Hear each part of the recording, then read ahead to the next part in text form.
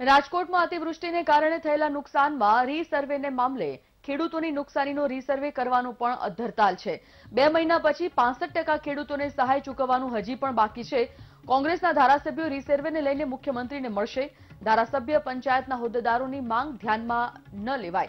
રાજકોટ જિલ્લા પંચાયતના પ્રમુખનું મૌન પણ ચર્ચામાં છે.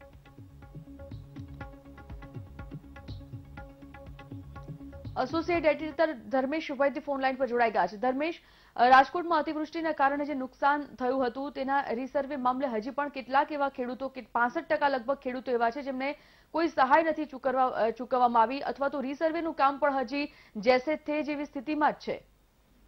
સંજીવની રાજકોટ સહિત સૌરાષ્ટ્રના જામનગર જે ત્રણ જિલ્લાઓમાં જે વરસાદી આફત બે ત્રણ મહિના પહેલા જે થઈ હતી એને કારણે કોંગ્રેસના ધારાસભ્યો અને પંચાયતના પદાધિકારીઓ, મુખ્યમંત્રીને મળ્યા હતા અને રીસર્વેની વાત થઈ હતી. પરંતુ ખેડૂતોની જે નુકસાનીનો રીસર્વે કરવાનું હજી અધ્ધરતાલ હોય તેવું લાગ્યું છે. બે મહિના પછી પણ ખેડૂતોને પાસઠ ટકા જે ખેડૂતોને સહાય ચૂકવવાની બાકી છે. અને આ અંગે કોંગ્રેસના ધારાસભ્યો ફરી સીએમને મળશે. જિલ્લા પંચાયતના પ્રમુખનું આ મુદ્દે મૌન છે, પણ જે ચારસો થી વધુ ગામ રાજકોટ જિલ્લાના છે કે જ્યાં વરસાદી આફતથી ખેડૂતોને ભારે નુકસાન થયું છે, ત્યાં રીસર્વે નું કરવાનું જે વાત છે એ માત્ર અધરતાલ હોય ત્યારે કોંગ્રેસના ધારાસભ્યો ફરી સીએમને મળે તેવા સંકેતો મળે છે અને ધારાસભ્યો પંચાયતના હોદ્દેદારોની માગણી પણ ધ્યાનમાં નથી લીધી.